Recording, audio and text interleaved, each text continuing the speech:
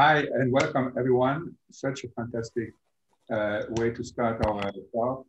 Um, we we're gonna we are we have the the honor and the pleasure to host uh, Alan Dieper Dipert, excuse me, Alan Dipert, and um, and when I say we, I mean the Scicloj uh, community, and um,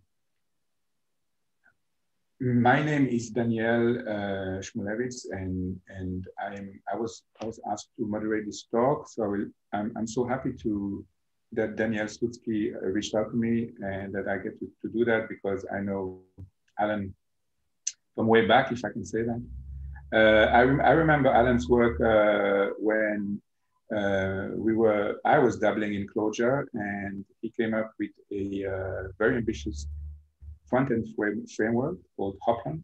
Um, and we will see, what was impressive uh, about it was that it, it was based on a completely different um, uh, architectural principle that we were used to. Uh, so I, I don't remember, I think it was the React frameworks were, were, were strong at the time, or maybe it was even before that when, when there were other, other frameworks. Uh, JavaScript frameworks um, strong. But at, at, at, any case, the idea of using the, the paradigm of, of a spreadsheet and its reactive functional model to, to render a, a front end was really novel at the time, uh, even and, and, and testament to the fact that today you, we, we see this a little bit more uh, but it, it was uh, the first time I, I, I heard about uh, this kind of um, mapping of, of a concept onto uh, web frameworks. So I, I, at the time, I already um, was, was uh, convinced that Alan was a man of ideas, and he confirmed this the time because he, he managed to, to, do, to, come, to come up with novel ideas again and again, if I may say so, um, uh, because uh, the next next thing uh, Alan was doing uh, uh, was uh, the boot bit framework, and that was also very interesting architecturally. Um, because it solved a couple of problems that we, we had with the traditional build tools in, in them performance wise, but also um, it was based on the idea that a build tool doesn't necessarily has, uh, has to be declarative. And it came up with the idea of giving the full power of Clojure uh, while, while writing uh, the, the build programs, the extensions to the build tool. And that was very novel also and very interesting because normally build tools are either declarative or they have a DSL that you use to extend it. Uh, and, and, and, and Boot uh, was very elegant architectural solution which gave you the full power of Clojure.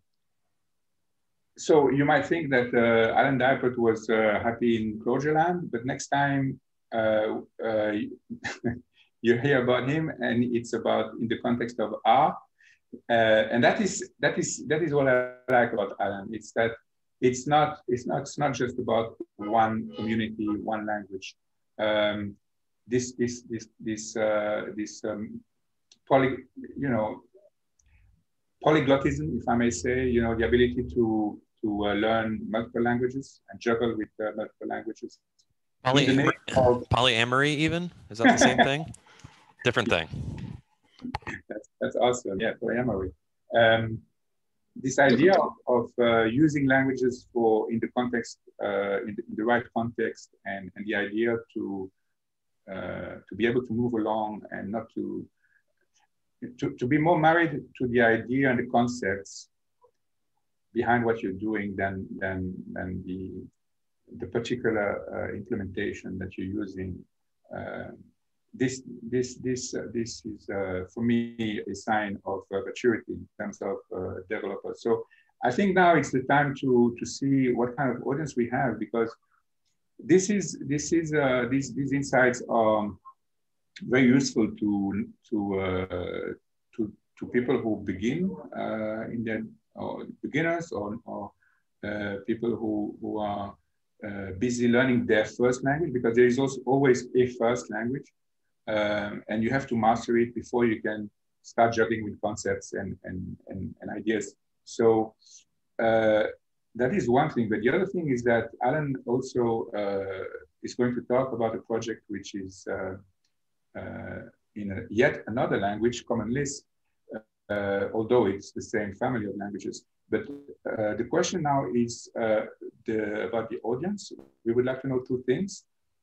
And uh, please uh, use the chat to, to answer the, the question. The first, um, the first question is, uh, is about the experience of everybody here. So to know uh, how experienced the, the audience is in terms of career uh, as a developer. So maybe you can put in the chat uh, how, how long you've been programming. Um, thank you.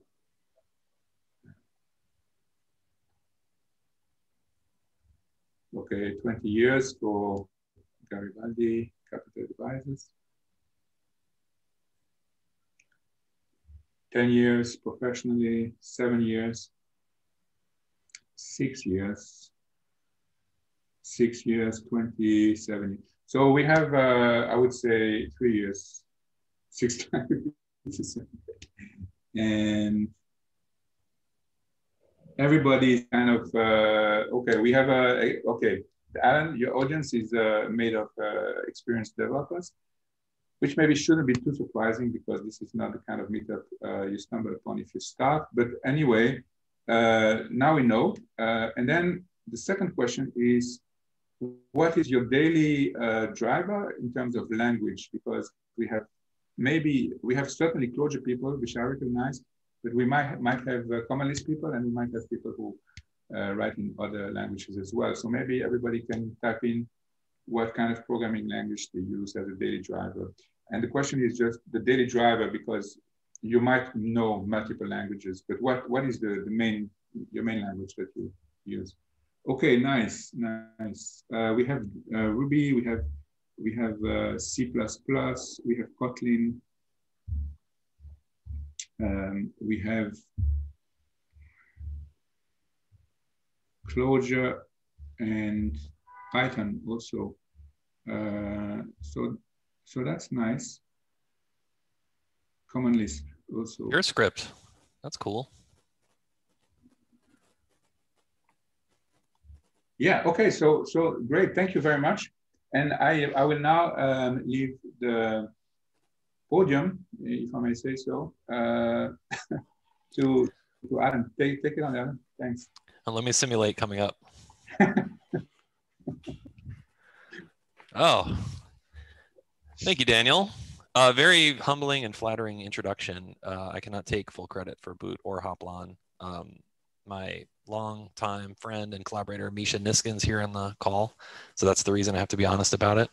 Uh, he and I um, design those all those things together. So, um, thanks.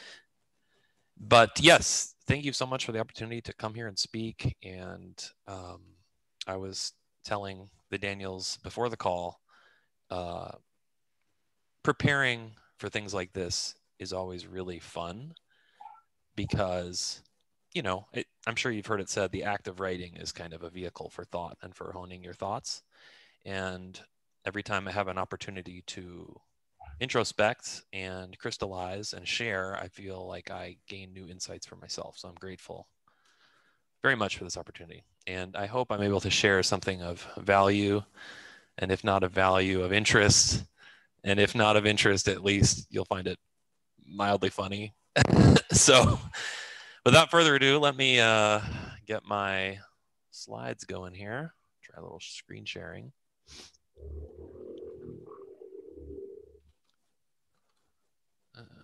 Share screen.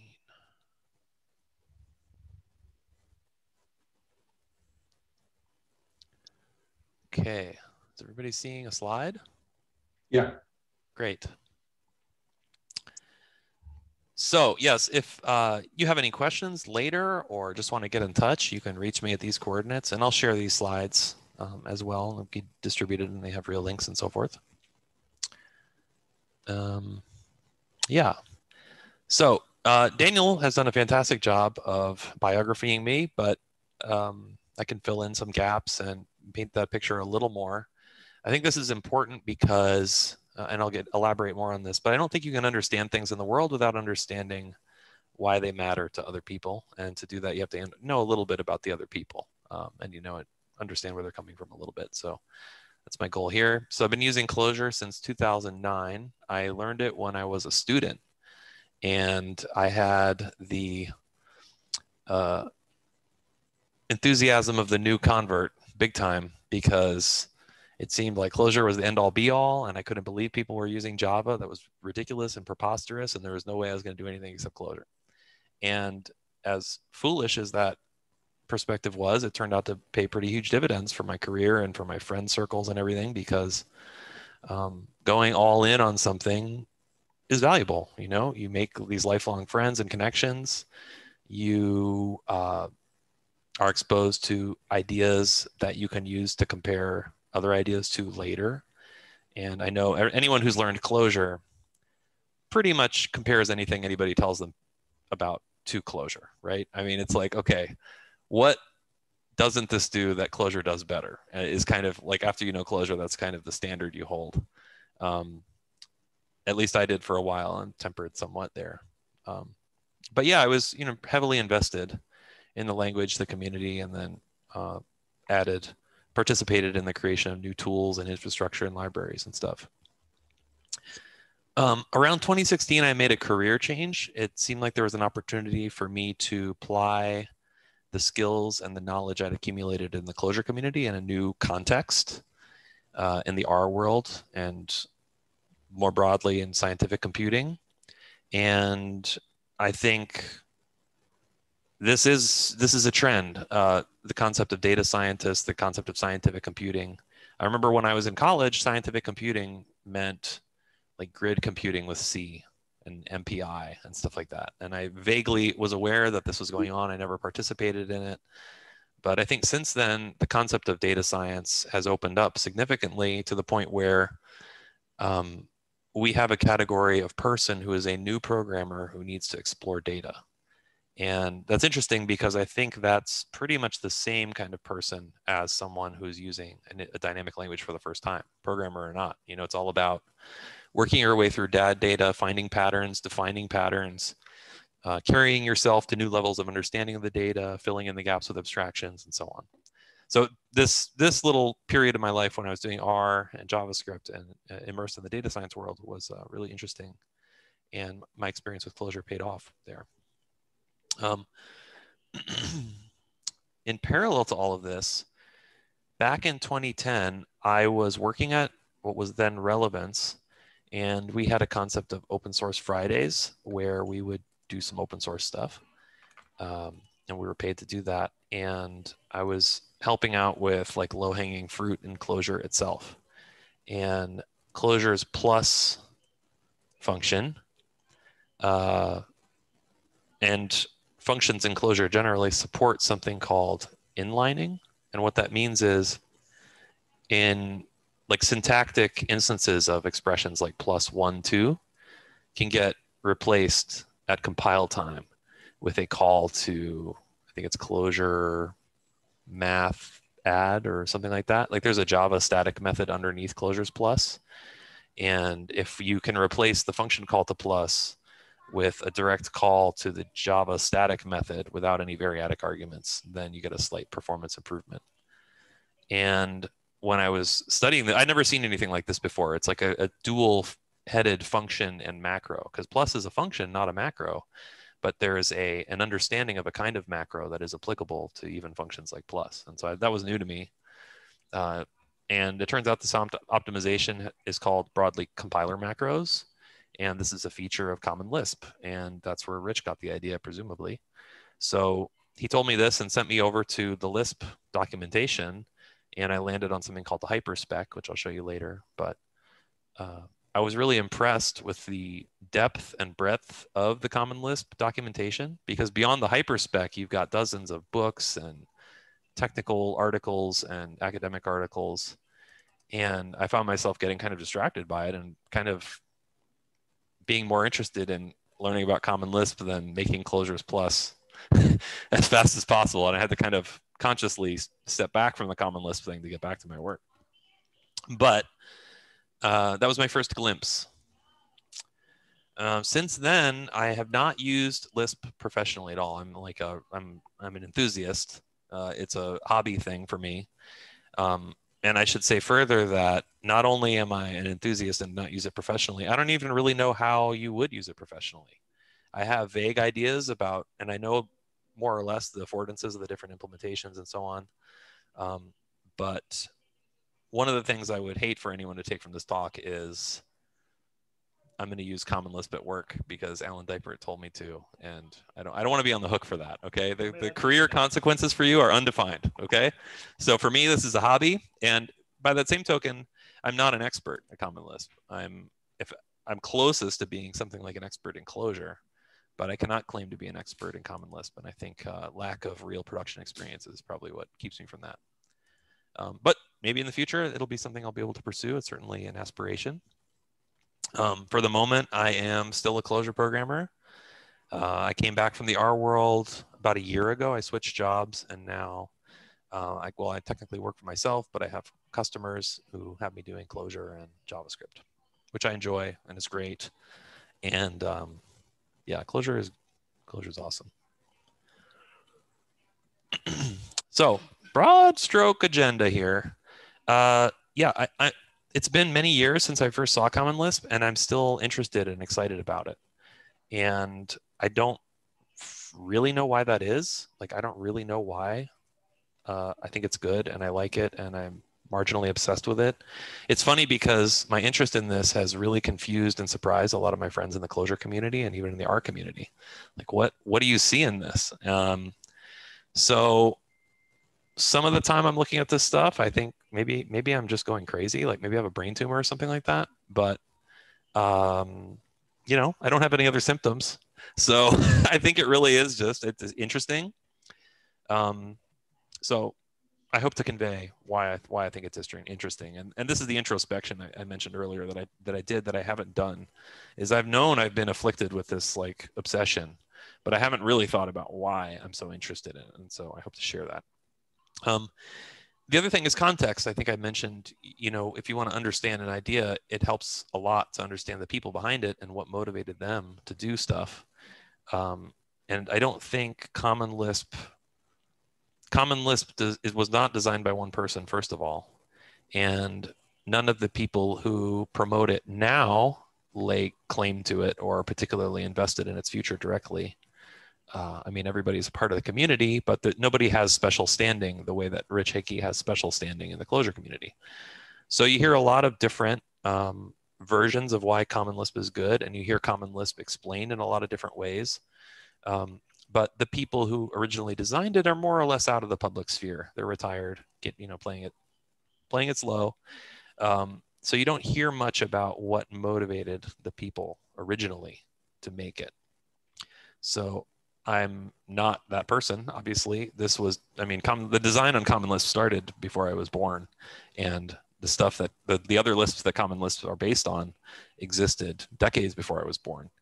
So I can't, I, am not going to be that person, but I have read a lot of that stuff, and so I hope to share some of some of what I run into that I thought was informative. Um, and then finally, there's a lot of activity in Common Lisp right now not as much as in not as much as in probably any other language you've heard of, but it's there and it's really exciting, I think, um, because the foundation is so solid. And well, there's a lot of reasons for causes for excitement that I'll get into. Uh, what this definitely isn't is the kind of talk where I'm trying to shoehorn these into some kind of dichotomy. Um, Daniel mentioned early that you know I'm polyamorous or poly poly polytheistic, polylingual. Um, I'm down for all these ideas. I've recognized great personal benefit from investing heavily in one thing, which I did with Clojure for like 10 years. But I think there's also tremendous benefit in recognizing that it's it's possible to like multiple things at the same time and you know we don't have to be fully invested and i think this is a message more for junior people and my former self i don't think anyone here probably is would would disagree with this. Um, so yeah, both Clojure and Common Lisp can exist at the same time and both be amazing at the same time. And we can, uh, we can uh, have, you know, recognize and realize great benefits from holding both in our heads at the same time and maybe even switching between them when it's convenient. Okay, so why are we here? Why am I, why, why is this meeting worth your time? And I think it's because Common Lisp is not going anywhere. It is going to wait for you for the rest of your life to learn without changing. Um, and that's because it's a standard. It's already agreed upon. It's in the books. You know, they there's a thing. There's a place. The, the standards organization keeps it on file. Um, so whether you learn it today, tomorrow, next year, or on your deathbed, it's going to be the same. and to me, as someone who spent a lot of time in the web development world and at the mercy of people who change libraries for reasons that aren't in alignment with my own interests or business purposes, that's very refreshing because um, it's kind of part of nature now. It's not a product. It's not even an instance of a thing that exists on a disk. It's literally a standard. Um, and still it has value. And that, I think that's because the fundamental problems of programming have not changed since people started programming. The human brain hasn't changed the user interface, the, you know, the, the human computer interface hasn't changed. We still have keyboards, symbols, letters. We use natural language in identifiers. Um, we can more, you know, it's not like people now can hold more ideas in their head at the same time as people in 1981. Um, and the same kinds of things that humans find intuitive and natural, and the same ways that people think generally are all the same. And so these are the affordances of a language, and Common Lisp offers these affordances and it tackles these problems still. Um, so there's value there, clearly. The other interesting thing about it compared to most other language implementations and design initiatives is the amount, the sheer amount of experience that went into this thing. Um, usually, pe when people from Clojure or even the scheme community talk about common lisp they sneer at the legacy you know the the problem of backward compatibility um, but the flip side of that the benefit of a legacy is that everything there was put in for a reason at some point so it might bother you now that the interfaces aren't perfectly uniform but who's to say that your perfectly uniform interface won't be corrupted in the future when you decide to use it and considering that all of the problems are the same, it seems to me unlikely that you're never going to have to corrupt whatever idea you have for abstraction now in the future. So why not just start with the set of corruptions from prehistory and build up from there, um, knowing full well with your eyes open that these are compromises and that just hindsight doesn't free you from having to make compromises. So um, and yeah, it, I think it's interesting. I don't. I'm not sure people come together. I'm. I'm not aware of any more recent examples of people with this depth of programming experience coming together from such wide parts of the programming world to make something and to pour their experience and their interests into something. Um, so I think Common Lisp is singular as, as an artifact. Um, yeah, so TLDR, Common Lisp is a great thing to learn because it's not going anywhere. It's not going to change. Whatever you learn about Common Lisp today in this meeting is going to be applicable in 10 years. Whatever code you write is probably going to work. Um, and that's what, circling back to me and my interest, my obsession. Like when I first got back into Common Lisp in 2016, I was programming and reading about it probably like two or three nights a week before bed, like three hours a week or something like that. And that's been an ebb and a flow. Like i'll pick those projects up three months later six months later a year later. Um, and i don't perceive eh, like i'm in no rush. And it's been really honestly delightful. I mean that's partly that's the delight of a hobby project is there's no business pressure you know? Um, but it's also partly because uh, i'm confident these things aren't going to change and i can really learn at my own pace in a way that um, is difficult to do with other things that change more frequently. So when I talk about the trade-offs and the history and stuff, um, not only was Lisp designed by people with a really depth, deep, really deep and wide experience, but we have some visibility in the modern era into those experiences. And there's a few different sources of information. Uh, this is an email from the original, I believe it's the original multi institution design mailing list. So there were people from MIT, Stanford, Symbolics, all the major players of the early 80s.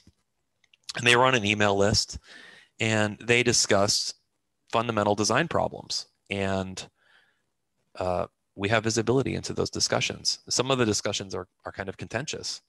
Um, some, some of, a lot of the times they're referring to meetings they had in person. And so you don't get the full picture. But it, it's nevertheless, it's a window. Like here's an example that I pulled up. This is an email from somebody at MIT about, they're talking about Common Lisp the language, probably uh, the first edition, which was, um, it's like a 1200 page book that was a, uh, a draft of the specification that Guy Steele put together in, I think, 1981 or 82.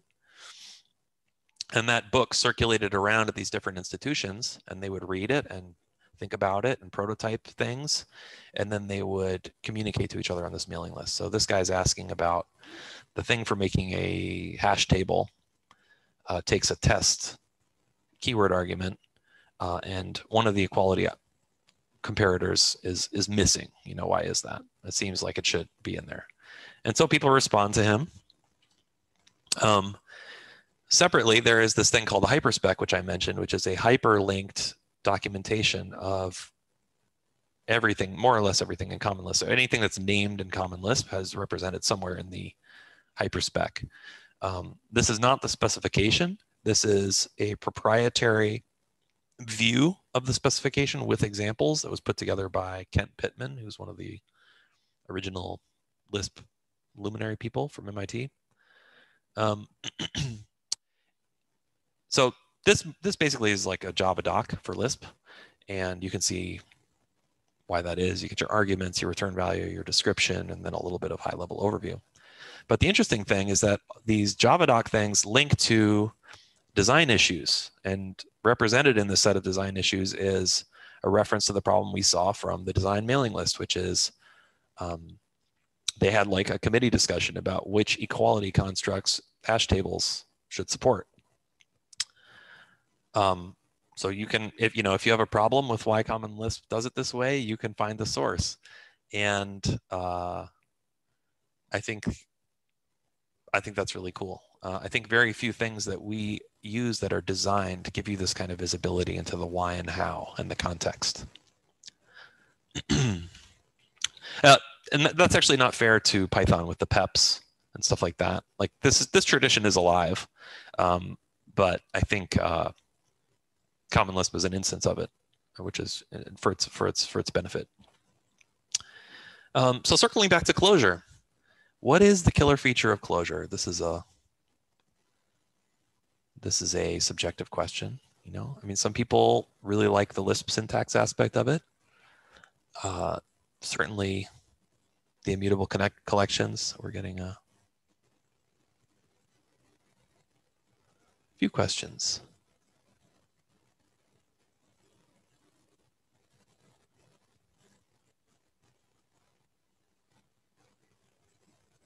Oh, so uh, proprietary view, the the the hyperspec is a document with a copyright, and that copyright belongs to a company and the copyright does not allow arbitrarily copying and pasting the hyperspec. So while the constructs that the hyperspec mentions are, are free and open and you can talk about them in any normal way, uh, you can't, for example, take the text of the hypertext or of the uh, hyperspec and copy it into your program or you know make a new website called Alan's hyperspec uh, where I've just replaced all instances of Ken, Ken Pitman with Alan Dipert or all instances of Common Lisp with, you know, Rainbow Unicorn or whatever. Does that answer your question, Tori?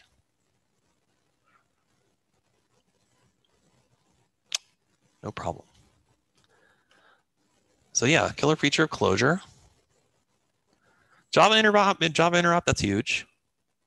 But I think the killer feature is Rich Hickey.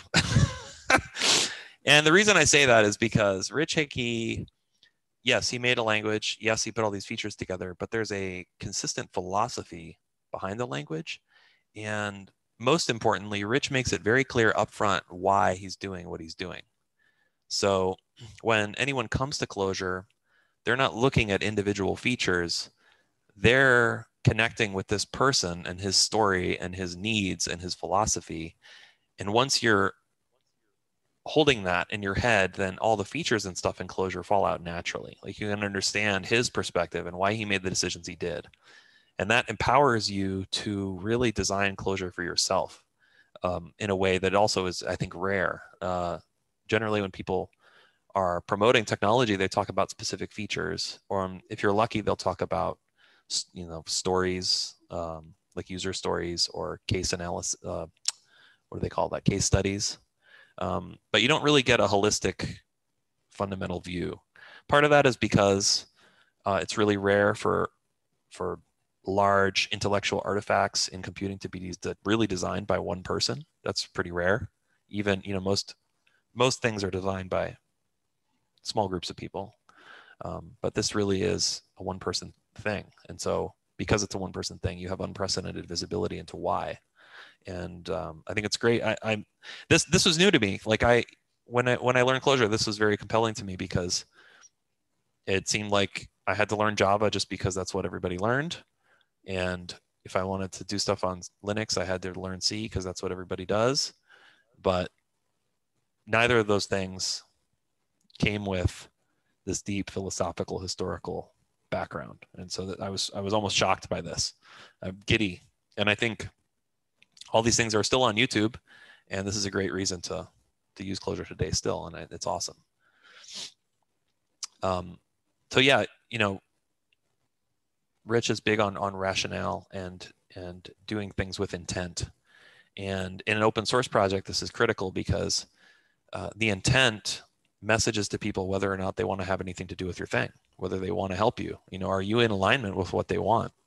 Um, if you don't have this rationale, then you get pull requests that you have to shut down, which makes everybody feel bad. So it's better to say what you're going for and let people come to you rather than not say what you're going for and people come to you with ideas that aren't in alignment with your own and you know for himself i know I, rich did this for himself this was this is the outcome of years of his own thinking and research um, and it's great uh, and um, lisp doesn't or common lisp doesn't have a document like this like there isn't a common lisp rationale document part of that is because there is no single person who could have written it um, the other part of it is a lot of their rationale was implied to themselves at the time. So you can piece something like this together for yourself if you do the research, and you can find it in the emails and the hyperspec and the issues lists. Um, but it's not all in one place like this. But I think this is very powerful.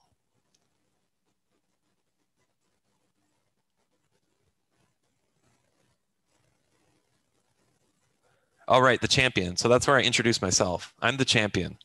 I'm the hero of this talk. I'm the person who's who's uh, distilling all the context uh, for you all, and I, am certainly joking. Uh, there is no such person, but there is room for such a person to pretend to be such a person, which is what I'm doing now. Um, oh, this slide is mangled. So a little light criticism of Clojure is in order. Uh, I still use and love Clojure. Um, but one of the things in the rationale is uh, emphasis on functional programming, which I think anyone here would agree is a good thing. But there is no free lunch. You know, every every design decision comes with a set of trade-offs. And um, in one interview, Rich described Clojure as uh, a programming language that inhabits a place in the set of possible designs that he really likes and wants to be in. So it's a multi-dimensional space uh, he made a few design decisions that took him to a particular place that he likes, but um, maybe it's not the best place for other people to be in. So one of the tenets of Clojure is functional programming. And as the basis for that, Clojure has a really comprehensive sense of, of equality, general, generalized equality. Um, but that in itself is a trade-off because arbitrary comparison between arbitrary pieces of memory uh, requires some heuristics to be applied uh, because there is no universal, mathematically sound definition of what something is. So whoever's designing that has to make some cuts.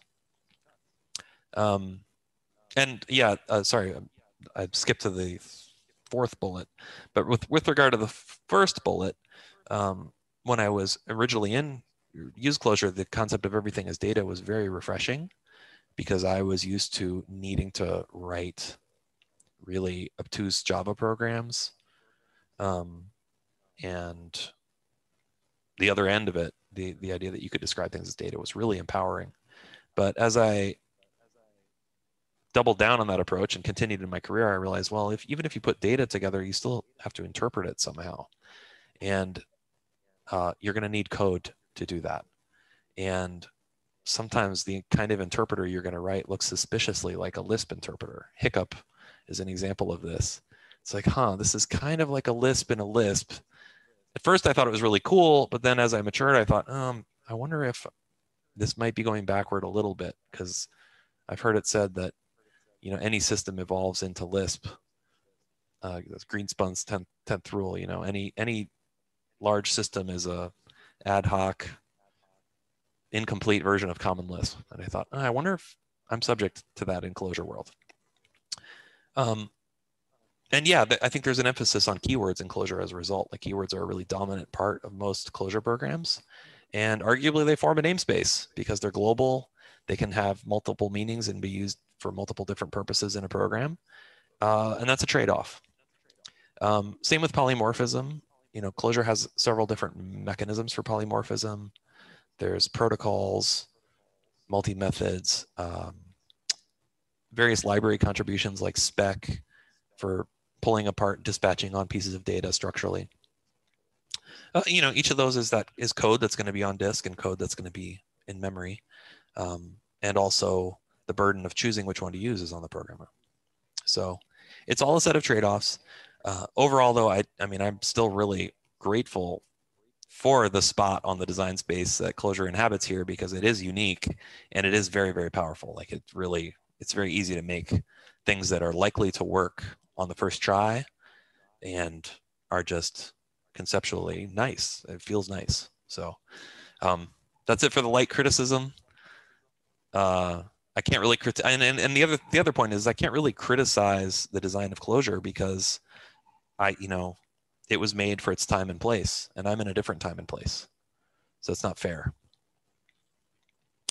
Um, so this isn't really criticism criticism so much as revisiting some of the points in Clojure's rationale in the modern era. So Clojure this the, the most of the Clojure rationale is I think written 10 or 15 years ago and certain truths about the computing landscape have changed since then. Um, one of them is that Docker and the cloud have put renewed emphasis on operating systems. And I think you see things like Alpine Linux um, and various other custom OS abstraction layers for use in cloud environments. Um, I don't think it's the case that VMs are the future. I, but I think technology and approaches that are in VMs are proliferating into OSs and into infrastructure. Um, JIT is an example of this. So, you know, 15 years ago, uh, Hotspot was, and maybe Lua, Lua JIT came a little later, but it was a pretty new idea. Um, but the idea of a JIT was more or less proven in 1999 at HP. And what they did there is they uh, made a JIT compiler for an architecture. I forget what it was. It was like a alpha processor, I believe. And they wrote a JIT for the alpha processor that compiled into code for, for a real alpha processor. And so they had a program that emitted alpha processor machine code and then they fed that into their alpha processor JIT, which emitted code for an alpha processor. And the code running on the JIT was faster than the machine code if you ran it just by itself, which made it clear that JITs could be, could do, could add value regardless, like even at the machine code level, like the concept of tracing and hot reloading and stuff, or you know um, moving code motion and all that stuff. Like there was value there even at the machine level, and um, that kind of smarts is moving further into the computer as we see with Apple's M1 chip. That thing is basically like a little hotspot on it, um, but it has a full view of memory and and and stuff going on in the computer. Um, the other trade-off with JITs, uh, which was true even 15 years ago, is uh, they make it harder to reason about the performance envelope of a particular function because something that to you might seem intuitively fast might actually have a non like a non-local effect of making something else that you thought would be fast slow because it gets kicked out of cache for example.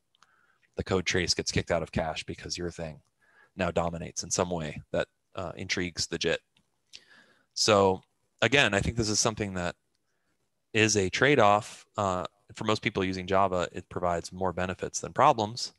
But if you're really interested in reliable performance envelope, like you really need to make sure that this function runs the same speed every time, and there's various applications that need that, then um, Java and JITs are not necessarily the right thing for you. Um, platform on platform issues, I think this is this is still true, uh, which is if you have different platforms with different memory models, uh, like for example, if on one platform you have strings are immutable and another platform strings are immutable, or you know there's 32 bits in a float, or there's yeah 32 bits in a uh, integer here, 64 bits in an integer here. Um, you know you can see how that complicates fitting one thing to the other thing or setting one thing on top of the other thing. And you can imagine how there's inefficiencies that creep in there because you have to coerce and copy and and do stuff to make it all match up right Um, which leads me to this key, another key contextual difference. Uh, and I, I think maybe a better term than context is situation. You know, Rich talks about the situational aspect of programming and how nothing really makes sense unless it's embodied or situated somewhere.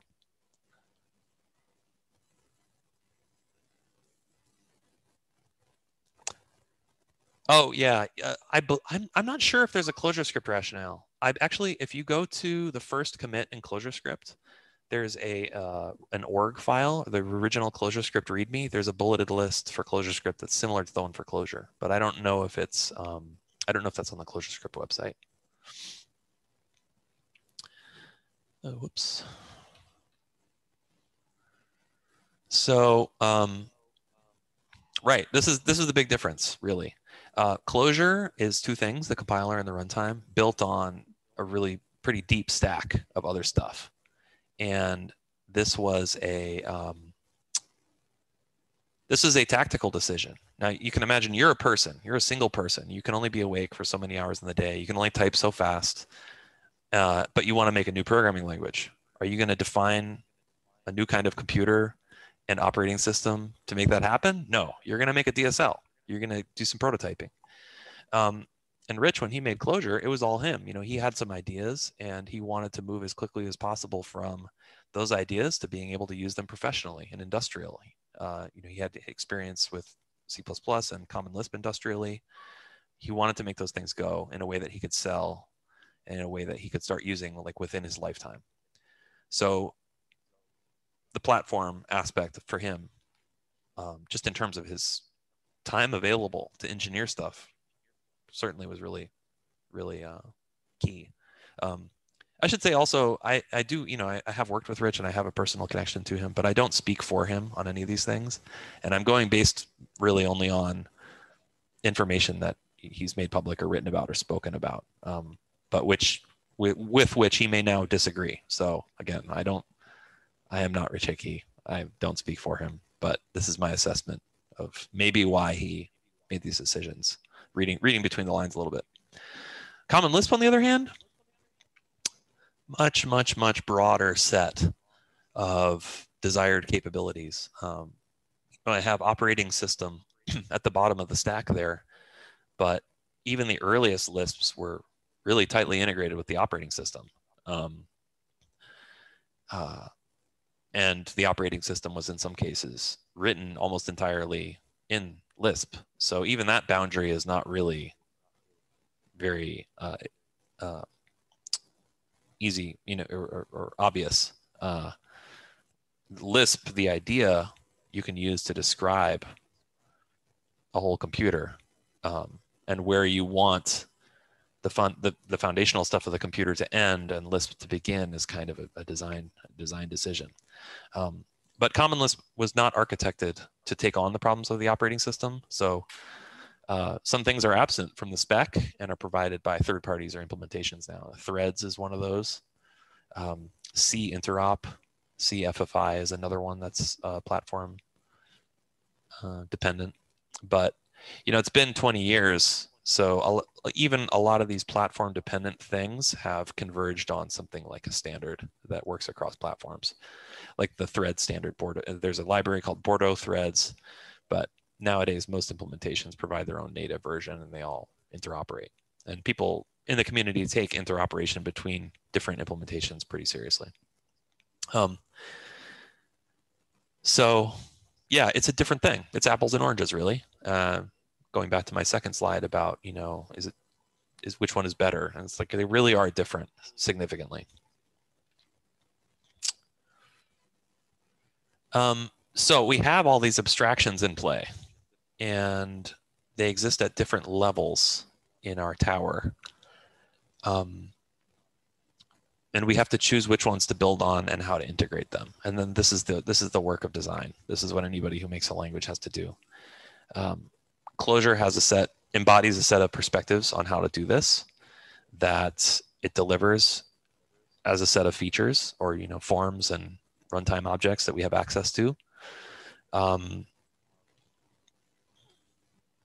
Oh, and you could say, and this is on this fourth bullet, I kind of roll this up and say, my own definition of abstraction is maybe hiding unnecessary details and emphasizing necessary concepts. So this is what makes things simple.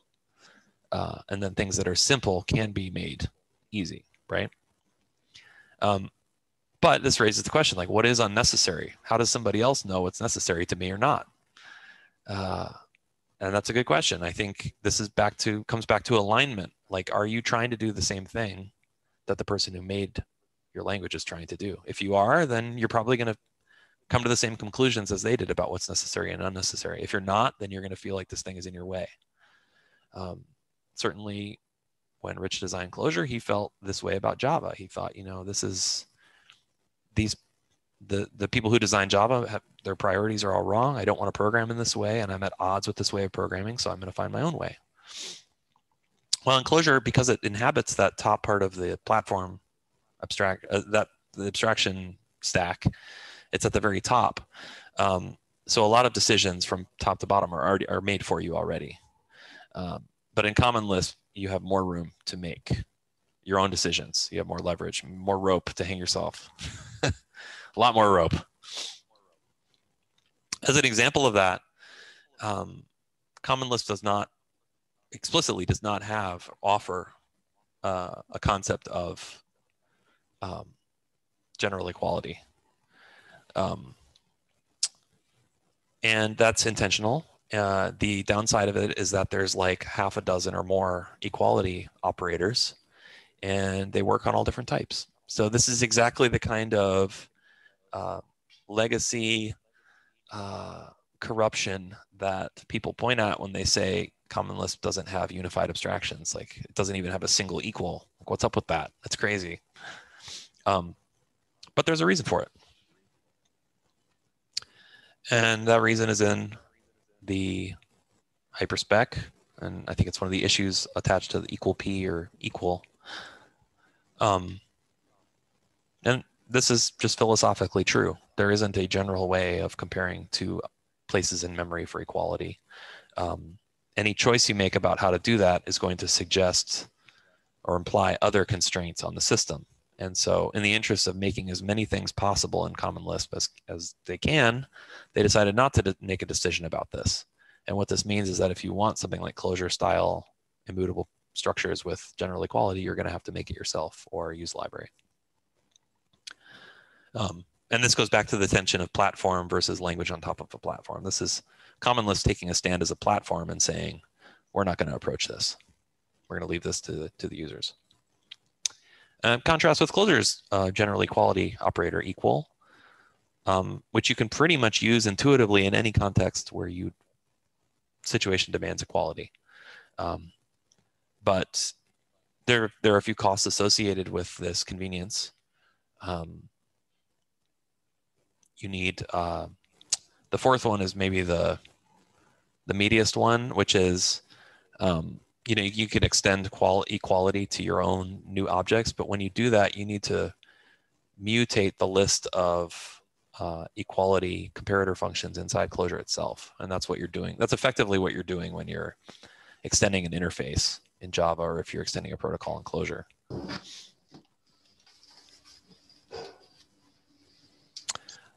Oh yeah, uh, yeah, Henry Baker. Yeah. Um, yeah. So uh, in some of his early talks, uh, Rich references egal, and this is Henry Baker's attempt to, who was a, another original MIT Lisp person, to um, bring some sanity to Common Lisp's equality operations because he he also was disgusted by the proliferation of equality functions, and he had an idea about how to make a better one, or at least a more comprehensive one. Uh, but there are trade-offs associated with his approach. Um, so yeah, you know, the nice thing about these abstractions is they change the economy of using them. Um, and it's either to your advantage or your detriment, depending on what you're trying to do. And if you're trying to write a hot, you know, numeric, numeric type loop or doing scientific computing, then and you know you're always going to be working with a particular, you know, signed integer or whatever, then this may get in your way more than it helps you. Um, maybe. I mean, again, it's it's contextual. So if I were to like sum up the conceptual abstraction differences between Clojure I would say, and Common Lisp, I'd say, you know, Clojure is like this tightly integrated beautifully designed, internally consistent view of how to program, and in particular, how to program on a platform like Java or JavaScript. Um, Common Lisp, it evolved over a long period of time. It has amazing ideas in it. Those ideas are not especially artfully connected, um, but where their connections dissatisfy, you can at least go find out why there's always a place to figure out why, like what experience led to this, what was the discussion behind this, why is it that way?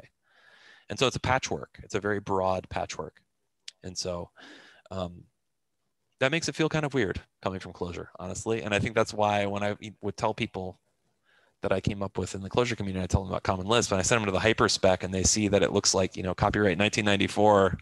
Like, what is this? Like, why are you looking at this. And um, yeah, so it, it has a weird, weird vibe. It's old timey, um, but it's lovable, endearing, and uh, again, will never change. So whatever time you spend learning it, it's going to pay a dividend on the long, the long tail. So I've got a list of things that I'm interested in of late. Um, I think by far the one I'm most excited about is this project, which I'll see if I can open it up. Uh,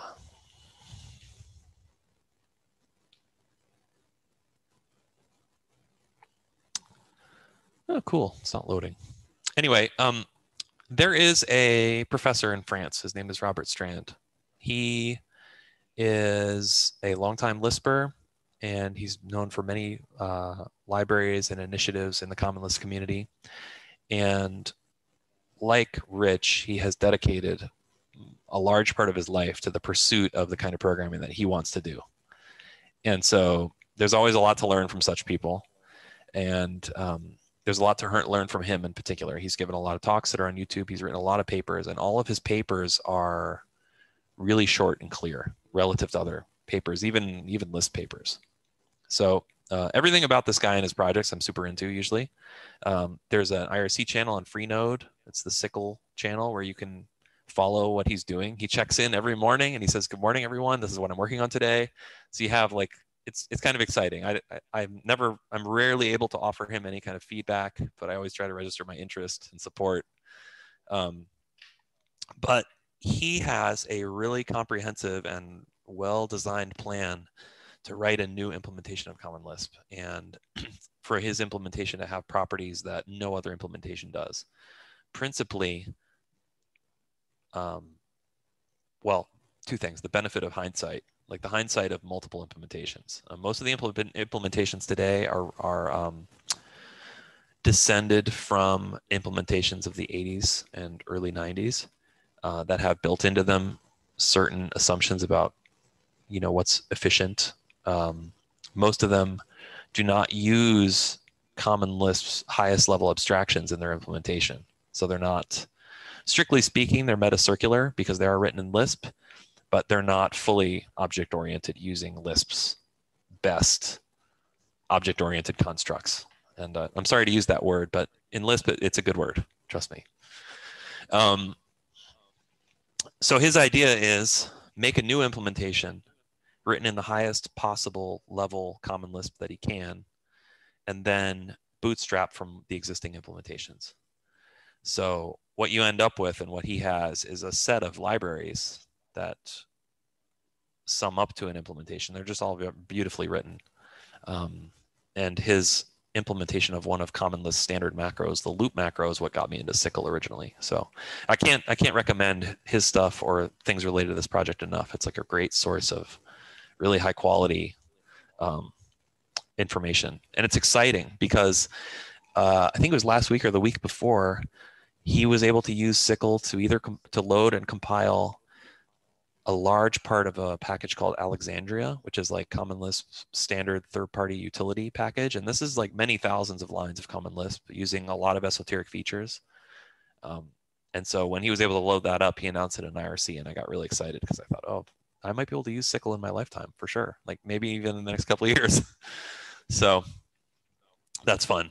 Um, JACL is my I mean, certainly in comparison to SICL, hobby, pet thing. I don't work on this every day. I don't even work on it every week. It's a long term bet, and a lot of it is educational for me. But this is uh, an attempt to bring the Common Lisp platform, or at least parts of it, to JavaScript and to think about those platform impedance issues that I mentioned, having to do with lining up the data types and lining up the abstractions and use cases and so on. And so there's a paper that I wrote about that that uh, that uh, illuminates that. And uh, I, I, still I still poke at that. Most recently, I've been working on multiple value return support to be efficient in there, which is a thing I'll talk about. Um, and yeah, I think I'll leave these other things for you to explore. Uh, one thing I will emphasize, or one thing I'll highlight, is Peter Norvig. So Peter Norvig, longtime Lisper, and also Lisp's most famous defector, probably, because he famously switched from after doing decades of Common Lisp and AI for AI research to using Python, and um, I think that confused and saddened many people in the Lisp community. Um, but if you click on this video, he's interviewed on a podcast I think two years ago, and he gets into why he did that, uh, and he has a very nuanced perspective, and he's a really smart guy. So uh, any opportunity to watch him speak about Lisp or anything else is, you know, I recommend. Um, I think I'm at a good place to stop. Uh, this is the end of my slides. My plan was to give you these slides to give you some background, and then we can, whatever time we have, we can use for discussion or questions, or I can do little demos of things. Uh, sure. Um, that, that was a delightful uh, talk. I could hear you talk uh, so much uh, longer. You could go forever. um, what a joy, what a pleasure, really. Thank you. And uh, I want to say hi to uh, Micha, who came because I didn't have the, the opportunity. And it's good to see you also. I just want to mention that at, at a certain time, when uh, uh, Alan and Micha were doing the boot project, um, that's when I, I got to contribute a little bit of my own. And I want to say that it was always such a, um, nice interaction with the, the host and anybody who is doing open source. uh, know how difficult it can be to, you know, interact with people, the community, and and and and, and make sure that uh, interactions happen on a on a, on a human level um, that is agreeable to everyone. And you really did a spectacular job. Uh, uh, not only for myself, I, I was just also observing you, how you were interacting with the community, and it was really a joy. So um, kudos to you and, and thank you. Um, so yeah, so I think uh, we, we, we could uh, go on and, and um, uh, go go uh, see what uh, what the what kind of questions we have from the audience. Do it. So anyone, yeah, go ahead, shoot. Sami, hi.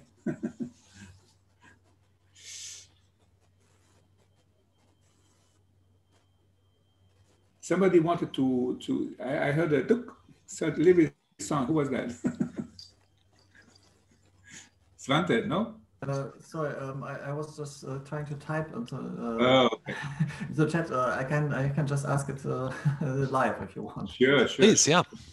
Yeah, um, I, I, actually I I, um, I think it's uh, you made a great introduction um, because one thing where I also wrote it's a great slide um, where you could see um, a common Lisp which more or less takes the whole stack from bare metal to space or um, you, can, you can you can work on on the uh, in lisp yeah you, are still in lisp and you can work on on the nitty gritty compiler details where you get uh, i don't know uh, your virtual operations into the registers of your of your processor uh, up to highest abstractions uh, whatever.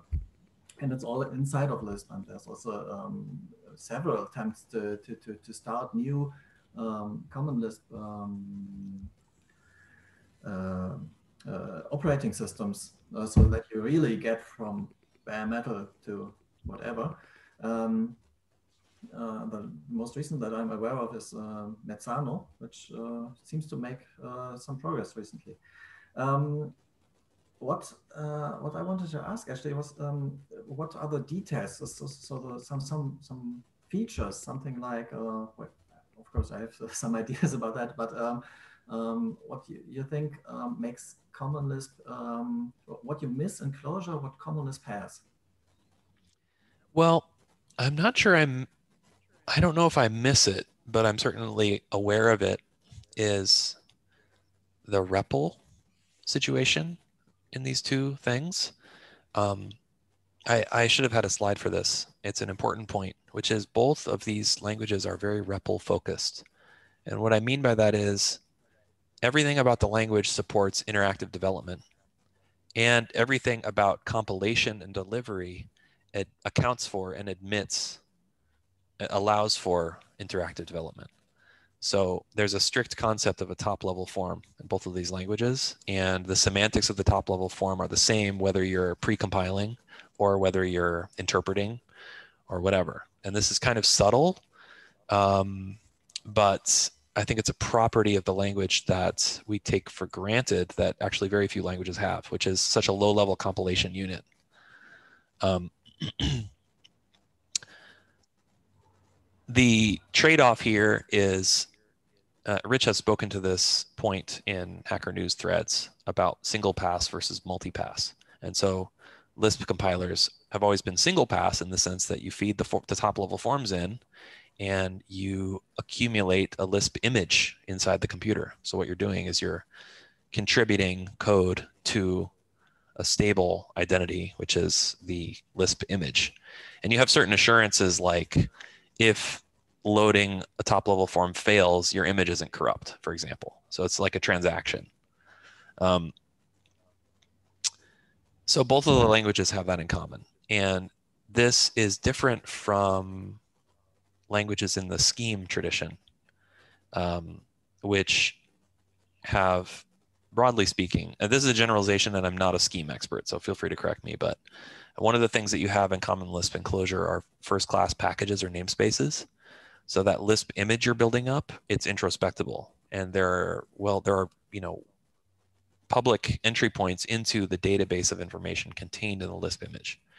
And that's accessible from the REPL using various functions for looking at documentation. Um, there are third-party programs like Lispworks that give you UIs on top of that. Um, and in, in Common Lisp, the probably the most popular third-party UI is Lispworks, but there are other ones. Uh, and then in Clojure, maybe Rebel is um, analogous. Um, so those are the ways that they're the same. One way that they're different is in terms of the platform tra uh, trade-off. So in Common Lisp, when you're at the REPL, um, there's a there's a sophisticated error handling system called conditions, and there's also a traditional idea of what a debugger can do. And one of the things the average Common Lisp debugger can do is give you a Lisp REPL at a place in the call stack. So like if you it would be like if you throw an exception in Java, and instead of the stack unwinding and you seeing a stack trace, execution can actually be suspended in Common Lisp, and you can have a REPL at the place where the exception was thrown. So you can inspect local variables, you can write new code that gets run in that same stack context, um, which is pretty cool. it's pretty cool, and it's I think still unique among languages. Clojure does not have that. You know, we have Java stack, we have Java exception semantics and Java stack traces. Um, and at one point when I was learning Common Lisp, I reflected on why I didn't really, even once I knew about the Common Lisp way, why I didn't miss it in Clojure. And the best I could come to an explanation was most of the Clojure programs I was writing kept their important state in a database. So I was writing mostly web applications or writing applications that interacted with services. And so if I needed to restart my JVM, it was a bit of a pain, but it wasn't the end of the world. It's not like my data of record was in the heap and turning off the JVM was going to ruin my day. Um, 20 or 30 years ago, when Lisp machines were running 24 7 in AI labs and they had persistent object systems and the, the OS, the database, and your program were all in the same computer and, and even in the same memory space. Um, it was much more important that you had that depth of debugging capability, I think. This is it's not like I have that experience again. I wasn't even born when people were programming this way. But my perception is that uh, one thing that has changed about the kinds of programming most people do is that we generally have databases now for managing transactional data. Um, but that hasn't always been the case. And when Common Lisp uh, first came into existence, um, it was really important to be able to do that kind of very, very surgical debugging because you might lose data if you didn't have an opportunity to do it right then. Um, and actually, you can see this in action. There's a YouTube video of a screencast of, um, I believe, Symbolics only employee right now. So there is a, still a Symbolics company, and they distribute uh, CDs of Open Genera and VLM, which are their it's a it's a Lisp machine, virtual machine, and the OS on top. And they actually employ someone who used to work at Symbolics, and he did a screencast at a meetup where he showed how he debugged the network driver or something like that. And it's pretty incredible because like Svante is saying, you see him go from like the highest levels of abstraction, like, you know, right clicking and navigating hyperlinks to like pausing in the stack inside the ethernet or the network drive, the Chaosnet driver or whatever he was doing and like twiddling bits in there. And then like, this is like in the middle of like, he's actually, I, I believe it was actually like in the middle of a network transaction. It would be like pausing Linux inside a packet so that you could, you know, look at the packet or change what was going to happen to the packet or something like that. Um, so I think, yeah, I think it, in our modern usage of languages, that capability isn't as important. And part of it might be because uh, we've given up the need for that because we're, we have, we we rely on the platform, you know, again, to our benefit and our detriment, if that's depending on your perspective. But yeah, I, will I'll, I'll, I'll find a link to that video. It's pretty, pretty amazing. Yeah, um, just adding to that, um, you mentioned the condition system, which I think is also a very defining thing. Um, there's a Common Lisp guy who um, uh, recently, uh, I think two or three months ago, um, just uh, wrote a little a Java library that implements the Common Lisp condition system in Java. Huh. So if you if you're interested in that, I, I posted the link to the in, into the chat. definitely check that out. Oh, phoe, yes, he wrote a book too, didn't he recently? Yes, exactly. Yeah. Right, right. Hmm, cool, very cool. Can I, can I just ask uh, um, the audience if um, we have common Lispers here who would like to um, add anything from their own experience uh, and and just uh, you know if if you, if you feel that if you want to say something please do. Uh, i'm i'm very interested and probably more more more people are absolutely. yeah Maybe I'll just uh, offer a comment. Um, Adam, I, I, think on your last slide you had a list of things that you might talk about. One was the um, uh, symbols and the and the package system.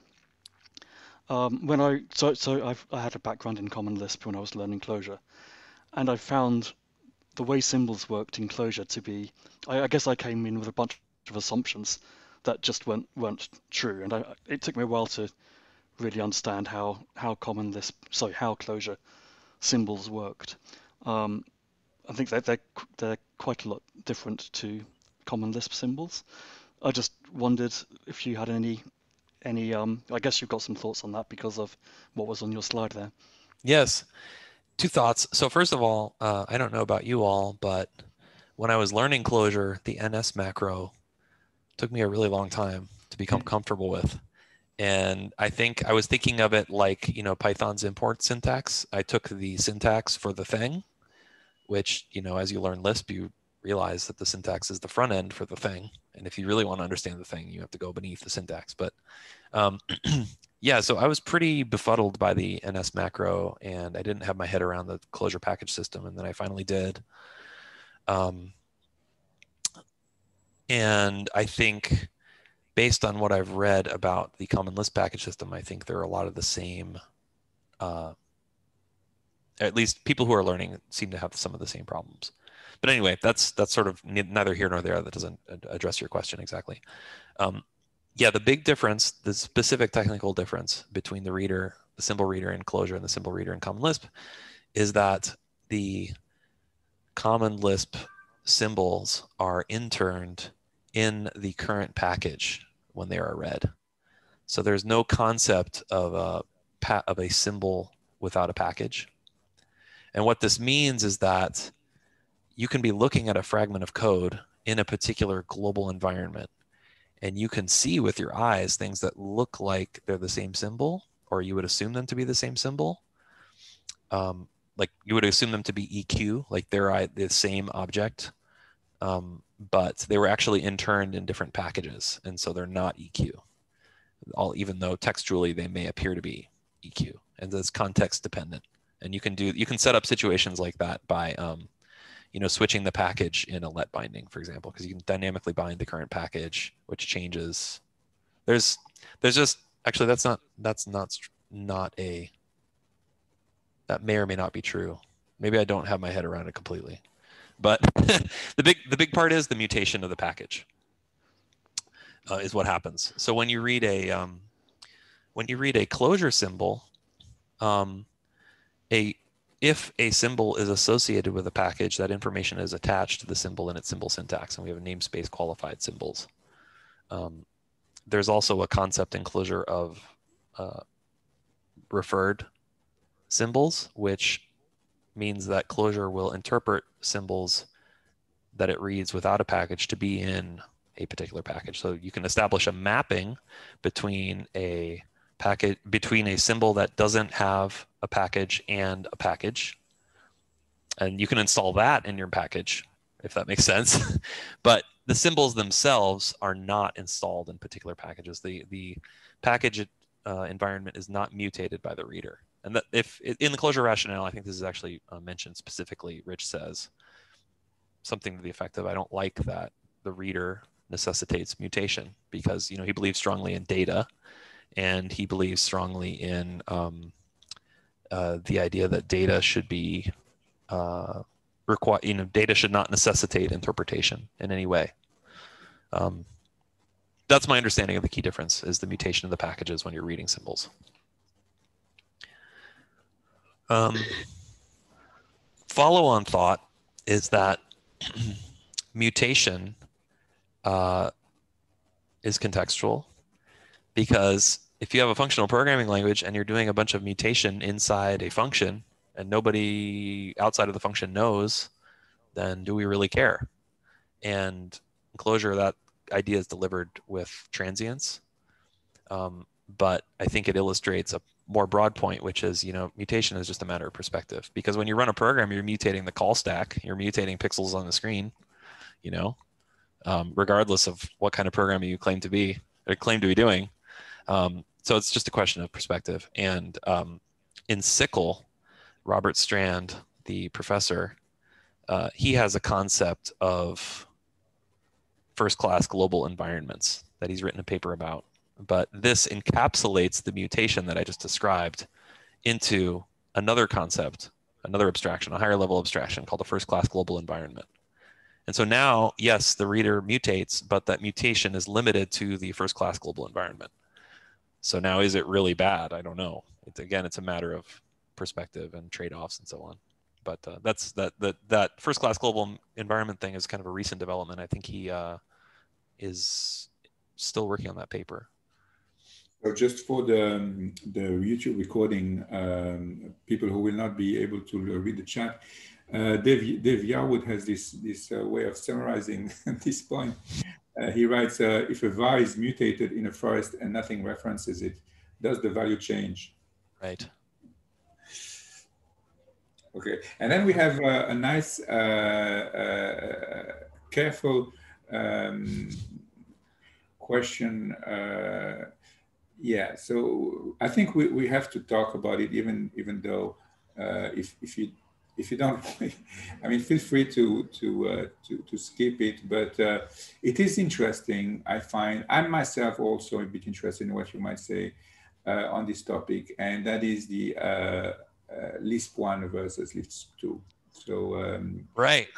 Well, I, I, think you have to address the fact that Clojure uh, that uh, that Rich Hickey coming from Common Lisp corrected the, the I think there's an argument that he made it worse. so let me. Oh, yeah, no, th- so this is a fun topic. We wanna, Again, we want to know. We want to know. Yeah, no. So this is another matter of perspective. I think um, you know there is a traditional, there's a classical understanding of what Lisp 1 versus Lisp 2 is, and it's limited to uh, the interpretation of symbols. Um, but uh, you know, there's a lot of dimensions of interpretation in a programming language, obviously. And if you it, add other types of atomic values, you know, atoms to this discussion, then for me, this point becomes less important. So, for example, is Clojure a Lisp 1? Well, let's think about this. What does a symbol mean? Well, a symbol can stand for a locally bound function, but it can also stand for a Java class, right? Because Java class names and Clojure symbols intersect. And so there is an if statement there in the reader, um, which is a source of complexity. Um, keywords. Uh, in practice, Clojure libraries lean pretty heavily on keywords and even use keywords to invent new naming schemes, like to name, for example, subscriptions or uh, conditions, like the ex-info function. Um, a lot of people pass that a keyword to indicate, you know, to identify the condition or the exception they're throwing. So anytime people use those identifiers, they've created their own global naming scheme with their own interpret, you know, their own semantics there. Um, so that's kind of a dimension of naming. Um, there is the there is the namespace of reader macros. In Clojure, they're data literals, but any package that you load into the class path in Clojure has can provide a data readers.clj file, which will automatically get executed and contribute a data literal syntax to Clojure. And those have an opportunity to conflict. So I think we're at a Lisp 4 now. Um, so my, my point with this is that uh, in my view now, this is actually a really small and maybe even not very important distinction between these two things. Um, because the same is true for Common Lisp. If you go and catalog all the different uh, things that can be named globally or interfere with each other at a global level. Um, it's a lot of stuff. And um, I'm not sure you can get away from having a lot of stuff. I think you're just going to have a lot of stuff. Um, for my part, I I think it, the Lisp 2 thing contributes to the old timey feel, which I, I, enjoy. I haven't written enough Lisp code to leverage any of the purported benefits, I don't think. Um, but it certainly, I don't, in the little Lisp code I've written, it, I don't feel like it's gotten in my way. Mm. Um, but that that is just my opinion. Right. Which is interesting because I, I can I can uh, testify myself that uh, the same way that uh, you were uh, drawn to Common Lisp in, in this kind of, uh, oh, oh, this looks interesting, let's have a closer look at it. I, uh, I have this kind of hobby where I uh, study scheme implementations or at least uh, try to follow what's happening in the scheme world and um, trying, trying some implementations on and trying to understand how it works and understanding the, the standard systems, SRFIs and stuff like that.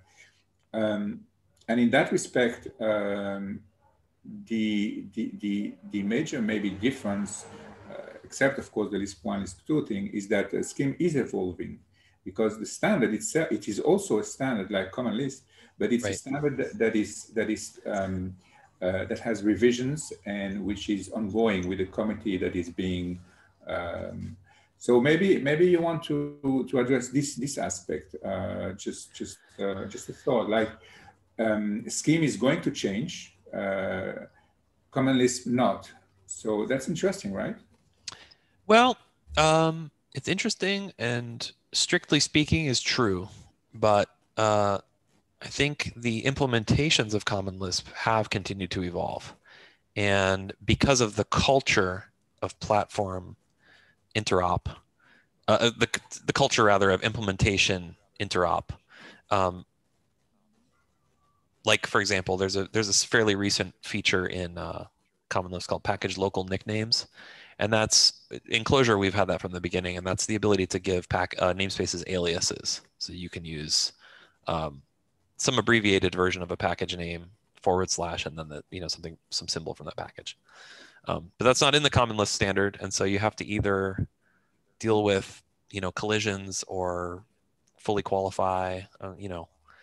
Um, and so this is a feature that all major common Lisps have now. And it's non-standard, but in practice, like you can pretty much count on it existing. And, um, you know, that's at odds with the spirit of the standard because that is strictly speaking, that is not conformant, you know, uh, or, or not, um, or rather not, uh, there, there's particular terms that people in Common Lisp use when they refer to different features and whether or not they're implementation dependent or conformant. Um, but that, that, that adds gray area to say the least. You know, it complicates the situation. Um, but um, another the other thing that comes to mind is there's a there well there there are a few things. There's a sequence of protocol in uh, a you know non-standard but universally supported sequence protocol in Common Lisp. Um, so which is to say that yes, strictly strictly speaking, Common Lisp the standard is unlikely to change anytime soon, but there is movement, there is activity, um, and uh, you know the culture is what makes it tolerable to me. It's not like other languages where they're changing or packages where or libraries where they're changing fundamental things on a on, on a whim. Um, there is a culture of backward compatibility which is here to stay. I think. Sure. Anybody else want to chime in?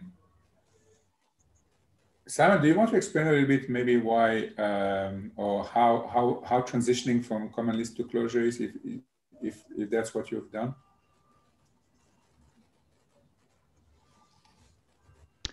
Hi. Um, yeah, so it's, it's hard to remember a little bit because it's about, it's coming up for 10 years ago, I suppose. Um, mm. I'm trying to think if I can say anything intelligent. Um, uh, I think it probably took me a good while, uh, uh, uh maybe uh, it's probably a gradual thing, but um, there were definitely things I tripped up on, and and and um, I mentioned the thing with with um, symbols and, and packages. Um, so I think, and this might not be quite right, but I think one of the reasons why Clojure symbols are as they are is is to make it easier to write hygienic macros. Um, now I'd have to think to kind of tie that back into to what we were talking about earlier. Um, but I think um, I think when when you get the, the thing with um, uh, the symbols being interned at read time, um, I think I, would really have to think about this, but I think that draws you into getting. Um, that's one of the things that makes it harder to write hygienic macros in Common Lisp, I think. Um, and so Clojure's approach, I think part of the rationale for that was maybe um, to make hygienic macros easier. Uh, yes, so I can speak to that relationship. Um, cool. Again, yeah, it's it is a really complicated part of both languages, um, so I could be wrong. But uh, yeah, in Common Lisp there is a function and syntax for making what they call uninterned symbols. And so, like the gensym function in Common Lisp returns one of these, and that's that gives you an object that is a symbol type with a distinct name and a distinct identity. So it's not EQ or identical question mark to any any other symbol in the system if once you get it back from gensym. Um, and so those identifiers can be used in code that you're generating in a macro for things like the name of something in a let binding. And that's the, um, I think maybe that's what you might be getting at, Simon, because that's because that thing does not inhabit a package, uh, regardless of the package in effect when the macro is called the identity of that symbol is guaranteed not to conflict with the identity of any symbols either in the callers package or anywhere else in the in the system. And okay. um, we don't we don't need to go out of our way to do that in Clojure because the symbols naturally are uninterned. Right. Yep.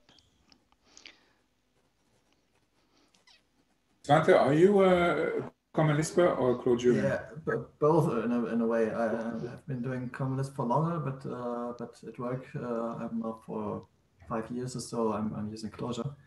Um, yeah, I, I think um, um, that's uh, also uh, this uh, gensym thing is, is also a thing which uh, interacts with uh, Lisp 1 or 2. Uh, because um, if you have a Lisp 1, then you have a much higher um, or the, the, the, hygiene of a macro is a much um, much more important because mm. um, if you uh, if you know that only operators can be uh, shadowed accidentally, then you can be a bit uh, and you have a, a, lot more leeway in in writing your macros. Um, and uh, you only need to, to uh, use gensym for your uh, variables that you introduce in your macro body.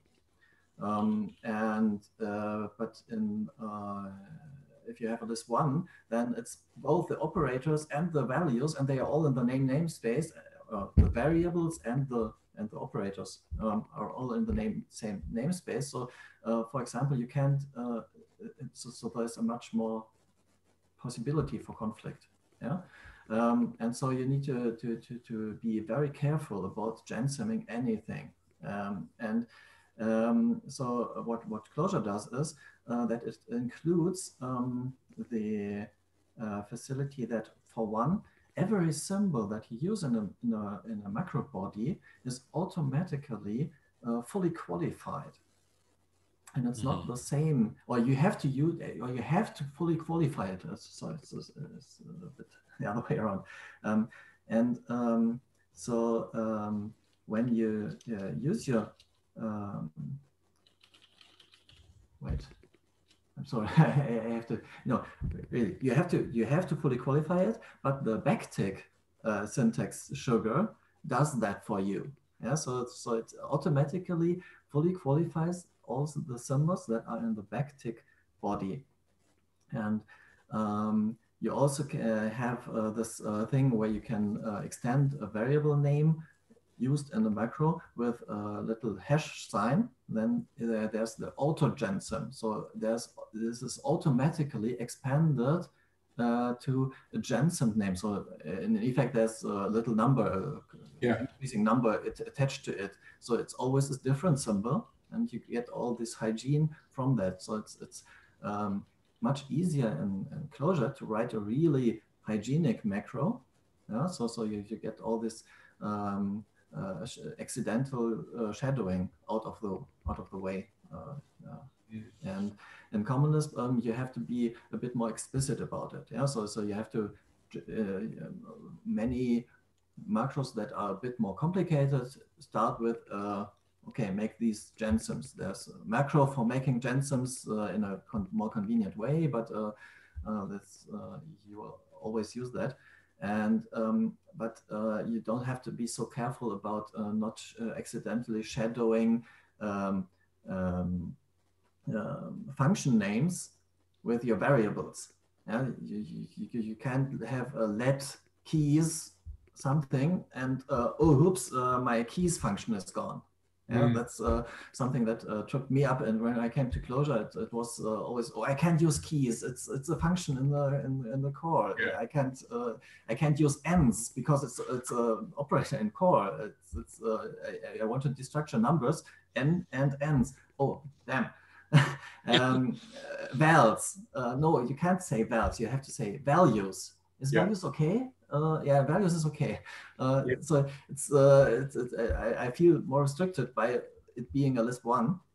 Mm -hmm. um, uh, on the other hand, it's of course um, always this thing, uh, this funny thing about um, okay, if I use higher order functions and I want to pass a function, then I have to reference it from the function interface. So I have to put this hash signs uh, quote before it to pass it, and it's always a bit more hassle, a bit more.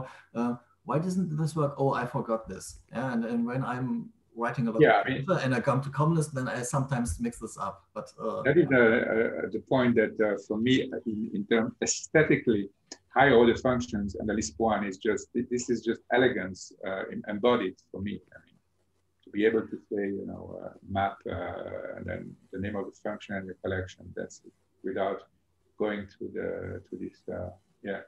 But that's that's maybe just an aesthetic point and really not not really important. Well, the aesthetics are important, I think, to the extent that yeah. you know your your tastes are in alignment with what you're using, because it's only it's only a pain if you are forced to use something that you know. Yeah. Um, a suggestion was made to do a REPL, which I'd I'd love to do. We could. Oh, great!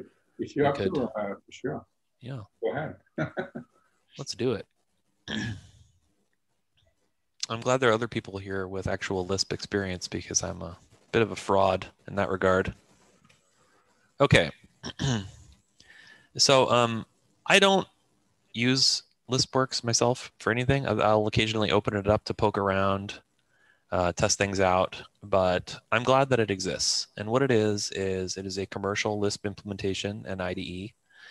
And someday I will buy a license to it because I think it's neat and I want to support the work. But the license costs like three thousand dollars, and I want other things first. So it's not going to happen anytime soon.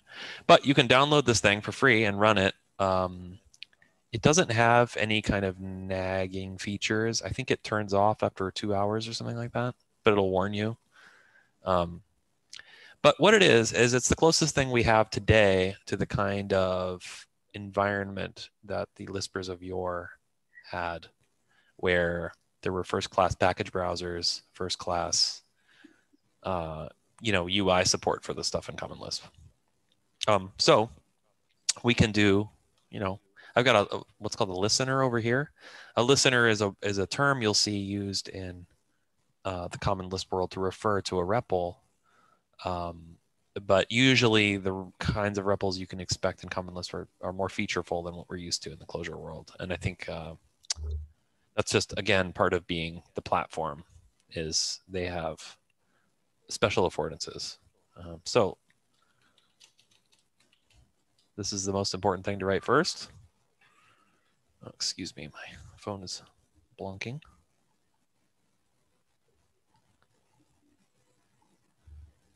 Um, one second. I uh, just need to turn off my video.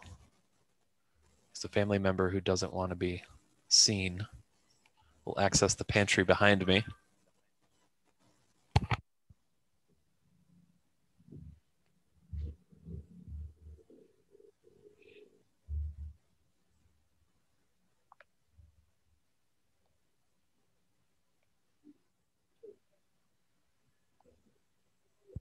Everybody still there? Yeah, sure. All right, great. So, um, right. So we have the listener. We can type stuff in. You know, everything that we would expect. I'm actually I've been writing Clojure code into the REPL and it's working magically. um, but we can let's look at some of the things that we were discussing. Uh, we were talking about Lisp one versus Lisp two.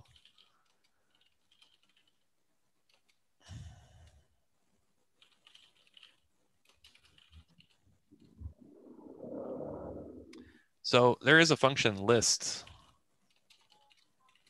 in Common Lisp, and it's variadic, takes things, puts them in a list.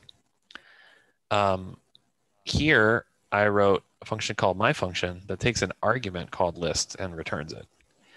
Um, now, in Clojure, this would this function parameter would shadow the list function, and so Let me do this.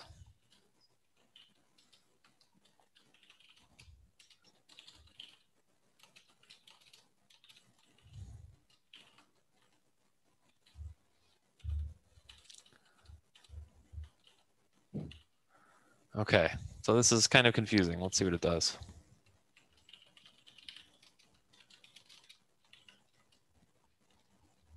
Weird. Okay, so um, we have an argument list. So this is a lexical variable, which means it is a symbol who, so a symbol in Lisp is a, is mutable in the sense that uh, symbols have a metadata protocol.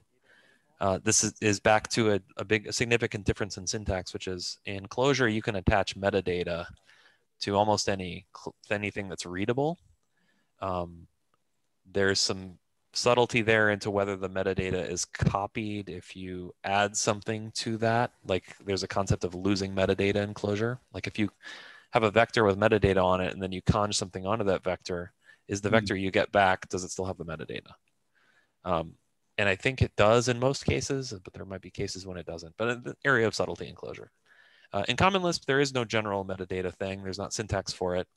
Um, but symbols are mutable in the sense that they carry a property list, which is uh, a set of associations between other symbols and values. And they also have what are traditionally called the function and value cells. And these are basically slots or fields on the symbol that can either carry a value at some in some environment or a function value. And by default, if you just refer to a symbol without any qualification, it's the value cell that is going to be accessed. And so that's effectively how Lisp 2 is implemented is its admission of the symbol as a mutable container. And then it's the admission of a syntactic default to uh, interpret occurrences of symbols as accesses of their values and not necessarily accesses of their function values. Right.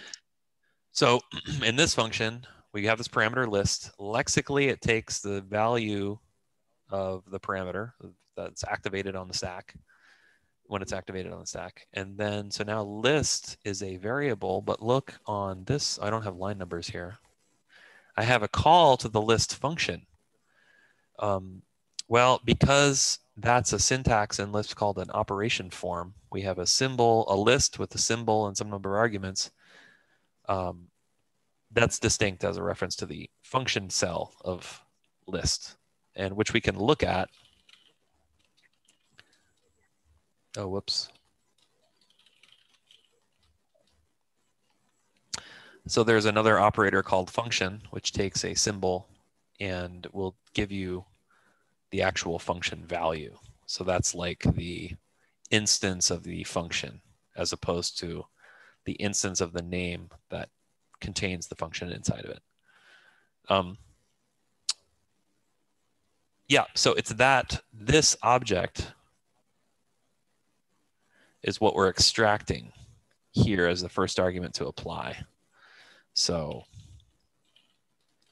you can see these two return the same object, and that's because this hash quote is a reader macro that basically expands to this.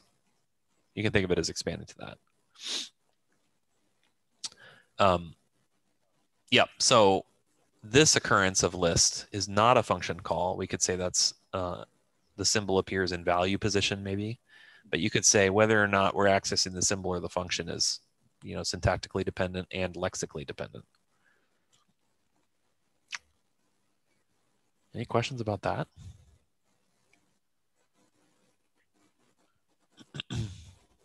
cool. Maybe maybe you want to show funcall because that's the in higher order function func all or something like that. Oh, well, there's a, uh, yeah, I mean, mapcar is what Clojure, we know in Clojure is map.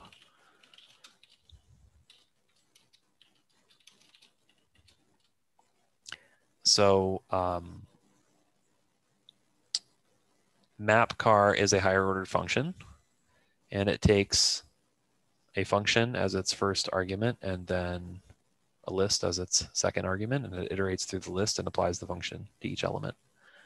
Um, I believe, so in Lisp, there's a concept of designator, which is uh, basically, it's kind of like a polymorphism system in the sense that it acknowledges that uh, intuitively we, we, we want to use a set of objects to represent the same idea. And in this case, the symbol one plus. Now, strictly speaking, this is a, a quoted symbol, but in a context where we were expecting for the quoted symbol to represent a function, um, we would want it to designate a function. And so I think in the case of mapcar, we could also pass it the symbol one plus, and it will infer for us that, hey, I'm passing you the symbol for its for its use as a function. And so we don't need to wrap it in. Hmm. So there's a lot of ways to do this, and they're all different variations of, you know, this general idea that um, we have a symbol that can have multiple meanings. And there are different contexts in which the meanings will be uh, inferred automatically. And, but we also have tools to make explicit references to aspects of this symbol. So yeah, I mean, not very savory, honestly, from a Clojure perspective. Like these are all the details that uh, Clojure helps us avoid. But at the same time, there is some value in them existing because you have um, uh, you have more flexibility along certain certain dimensions. Um, foremost among them is this uh, lack the, the fact that this function variable does not shadow the list function. And so honestly, mm-hmm. like I, am kind of refreshed because like in Clojure, you know, you do things like you have to make, you have to, you know, you don't want to yeah. shadow Clojure lists. So you make a little variable version or, you know, that's better, the Haskell style. Yeah. so, mm. yeah. Awesome. Yeah. Uh, is it easy to inspect to inspect the environment and see all the symbols as data? Yeah. So um, there are definitely so in the same way that a Clojure, this isn't going to work. So you know, Clojure offers functions for inspecting the global environment, looking at packages, looking for things in packages. And Common Lisp is the same way. There are um, uh, functions for doing that. I'm actually going to uh, I'm going to share my whole screen.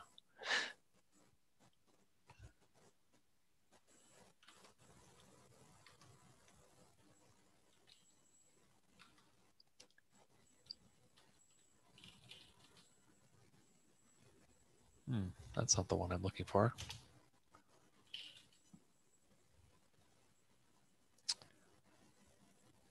So I'm at the hyperspec. Um, in Lisp, they refer to the set of functions and symbols relevant to some concept as that concept's dictionary, um, hmm.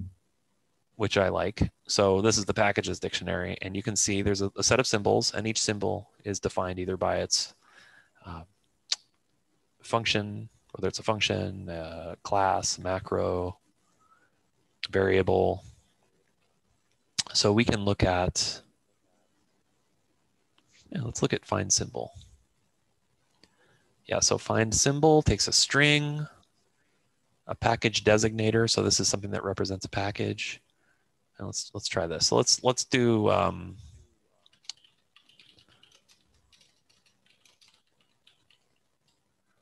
see what it says about this. Okay, so interesting thing popped up. Notice how two lines of output printed. Hmm. This means that this function returned two values, which is, you know, mathematically bankrupt because what does that mean? but what it is is it's an efficiency. Um, normally in a programming language, there's conceptually a register that a return value is put into, and a normal programming language maintains one such register. But uh, Common Lisp exposes um, performance-related features, and one of them is this idea that a function can return multiple values, and it's based on the observation that um, a function can box up multiple values into a list, for example, or a vector in Clojure's case, but that means that you need to allocate a fresh vector that's immediately going to be thrown away by the consumer. It's going to be destructured and then um, GC'd. Um, so if you just have, if you have a concept of multiple values, then you can maintain a set of registers, say like 100. And instead of allocating a new vector when somebody wants to return multiple things, you just return a special value that indicates there are multiple values involved and then you could pass like an offset into the registers or something. But at the end of the day there's no allocation happening necessarily. So no pressure on the gc no allocation um, and the caller has very fast access to the values returned um, this is somewhat famously not in Clojure Clojure doesn't have multiple values probably the biggest reason is because java doesn't have multiple values and you can imagine how crazy that would be to try and do um, but uh, Clojure actually defended his decision. Uh, Rich Hickey defended his decision in a separate way. He a couple years, well, maybe like ten years ago, he had a discussion that uh, uh, there is a there is a um, this is written down, but he had a discussion with Cliff Click, uh, who's a more or less the implementer of Java's hotspot, and Daniel Weinreb, who is one of the Symbolics founders. And I think Weinreb mentioned to Rich this lack of multiple values, and Rich suggested that multiple values were not even really desirable for performance reasons because of advances in garbage collection since um, Common Lisp was standardized, in particular ephemeral garbage collection. So the cost of allocating something on the stack from the garbage collector is very, very low nowadays. Um, on Java or any, on, on, on any system that has different um, uh, that partitions new objects based on how long they've been around. And so I, objects that haven't been around for very long are the first to get collected usually. And so what that means is that the cost of allocating things is much lower um, uh, in practice. At least that was Rich's argument. Um, but anyway, in case Rich is wrong, we have multiple values in Common Lisp, and which is what we're seeing here. So find symbols returning two values, symbol plus, and then inherited, which is a keyword that means it's present in the package as an in, oh, uh, ah, yes. It's inherited through use package. So what this means is that like we're in a package CL user, which is analogous to Clojure's user, user package. And plus is a symbol from a different package but when we type it in without a namespace or a package qualification, uh, in this current package, it's going to be interpreted to mean something else. So very similar to Clojure's uh, refer. You know, it's the same way that you can type plus in the user namespace and it becomes Clojure's. We can do this.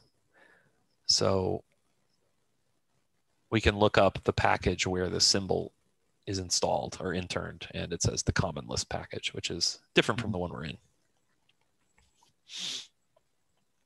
Yeah. Um, I don't have a whole lot of time left. Well, no, I do. Let's see. We've been. Oh yeah, I have to go soon. But um, there were a few things I wanted to show. One of one of them was CLOS, Common Lisp Object System. It's not going to happen. Um, but I will show you this, which is the loop macro. It's simultaneously, I think, one of the most offensive macros to people coming from Clojure, and I, I, think also one of the most illustrative of the differences between Common Lisp and Clojure. Um, but there's a macro in Common Lisp called loop, and let me just write out a thing.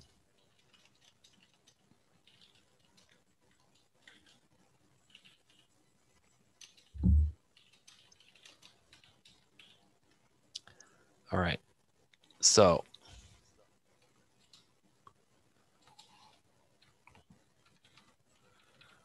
it looks like I'm writing in blub here, right? it's like straight up imperative stuff. Um, but what this is, is this is the DSL embedded in Common Lisp. And it is a really powerful slash complicated language for performing iteration. Mm. So in common enclosure, we have lazy sequences, we have uh, recursion, we have uh, the loop recur construct for doing iteration. Uh, and those are all functional in the sense that they don't imply or they don't necessitate mutation of anything. So you don't need to name something in order to mutate it so that you can add something to it. Uh, loop loop recur is is like probably Clojure's most I don't know I feel is one of the most elegant things in Clojure because uh, it's a functional iteration construct and it bottles up the concept of iteration in an interesting way. I agree, and that's the equivalent of the. I mean, if if you had tail, real tail recursion in the JVM, then you wouldn't you wouldn't even need the recur. You could just use the same symbol that you use to define your like in Scheme. You can, uh, you can do very elegant recursion. Right, right. Um, so. Uh, Common Lisp is not, the focus of Common Lisp is not functional programming. Um, it's not impossible to do, but when it's done, it's done by convention and with the help of libraries. But all of the iteration constructs that are in Common Lisp, other than recursion, are uh, you know non-functional, or at least admit mutation uh, or imperative stuff into their paradigm, uh, into their DSL. Um, so loop um, is a basically a small programming language embedded in Common Lisp, and it's uh, for doing iteration. And I guess you can use it in a functional way. Like here, we're collecting a list. We're not strictly mutating anything, but it supports a concept of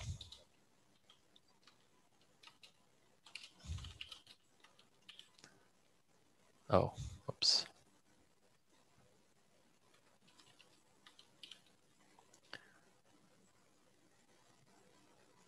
Yeah.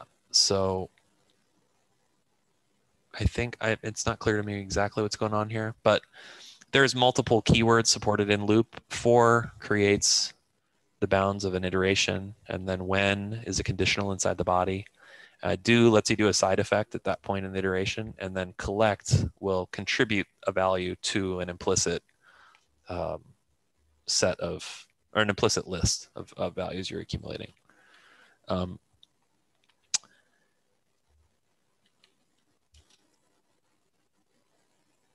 I think the yeah the direction I'm going with this is just that first of all it's pretty crazy coming from Clojure to have this involved of a DSL be supported out of the box is pretty wild.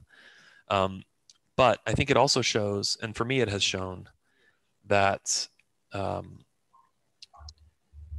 you there is the value this delivers is this doesn't rely on any runtime abstractions.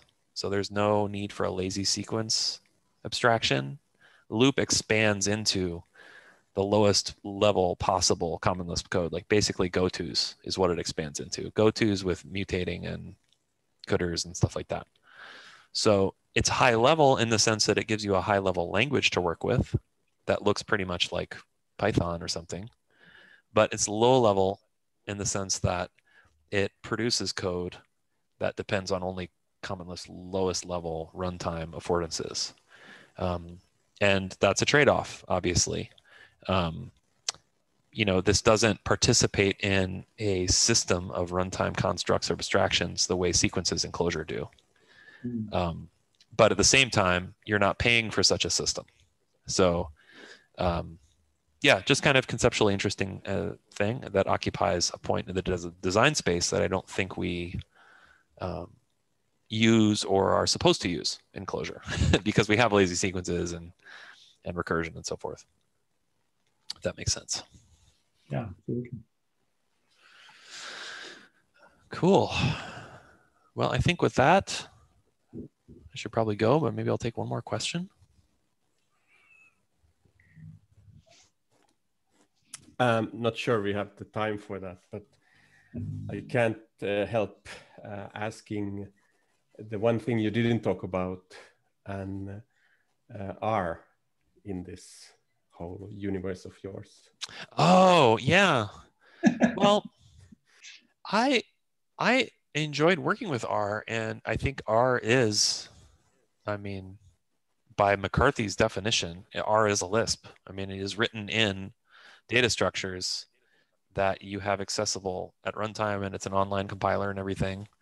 Um, I think R. So I did not find myself getting obsessed with it the way that I'm obsessed with Common Lisp. I don't know why that is. I don't know if it's because I'm just immune to being obsessed with things that are popular. um, I, I don't know. I, I certainly never really had any problems with R, and I think it occupies again another point in the design space that's very valuable to lots of people. Um, an interesting thing maybe about you need, maybe you need S expressions in your life. Say that again. Maybe you need S expressions in your life. maybe, maybe that's what it is.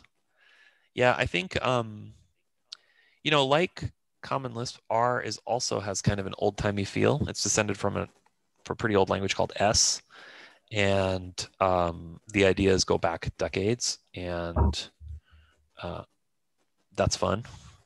Bye, Tori. Thanks for coming. Um,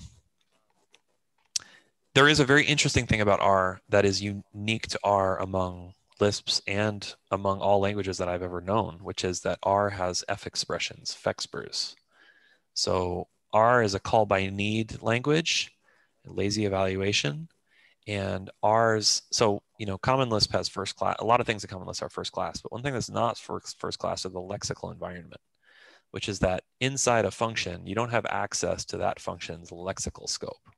Uh, that's all been compiled away into identifiers that are gone by the time your function actually runs. So this is something the compiler manages for you at compile time. But in R, the environment, the runtime environment of a function is attached to the function object. And you can actually look at the variable, the lexical variables inside a function, like from the REPL, and even modify them. So like if in, inside a function body, there's imagine like there's a let binding and the outermost let in the function binding says x1, and then there's a bunch of stuff. In R, you can do the moral equivalent of after that function has been defined, go in there, mutate its environment, internal environment, um, which, uh, you know, again, pretty egregious from the Clojure functional perspective. like that's possible, but uh, it also gives you a level of metaprogramming capability that is, I think, unparalleled uh, except by other Lisps. So um, very, very interesting language. Um, and I think, you know, the, the reason that fexpr thing did exist in Lisps, Lisps for decades before Common Lisp, and I think it was thrown out for performance reasons long before Common Lisp came to be standardized. Um, but one thing that this is kind of another observation I have is that um, there's a concept of computer performance and then there's a concept of human performance. And it's okay for something to have very poor computer performance if it unlocks some kind of human performance. Because yes, our relative things kind of slow because of this first class environments thing. but you can use it to make a really nice DSL on top of something that's written in C++, for example. So it gives you a test bed in which to prototype uh, con constructs and semantics that are valuable to people. And then later, if at all, you have a layer on which you can make those things more efficient. Um, and it makes me regret the not adding R to my little platform and abstraction level chart. Like that's sort of a bar chart, really. Um, you know, R sits even higher than Clojure, maybe on the on. Or, well, I guess it's a uh, it's complicated. I have to think about that more. But um, it too offers semantic affordances at a very high level, and there are trade-offs with the ones it does offer, and it occupies a unique, like Clojure, occupies a, a point in the design space that has benefits for people who do a certain kind of thing or like a certain kind of thing. Um, yeah, I, I, still really like it, and uh, um, I I, uh, I enjoyed the process of learning it. It also it also like Clojure is significantly influenced by Common Lisp, which mm. is fun. So it's kind of a, a sibling to Clojure in that way. Interesting. With that, I think I shall leave you fine people to your well, own programming. That was a phenomenal talk. Thank you so much. Thanks everyone. Yeah, You're welcome. Great. Yep, thank you. I enjoyed that. You're very welcome. Yeah, thank you so much for coming. And uh, yeah, I'll I'll send the slides to the Daniels, and um, and there's links on there on how to contact me and stuff to look at and so forth. But uh, uh, yeah, thanks for coming. Thanks a lot, Alan.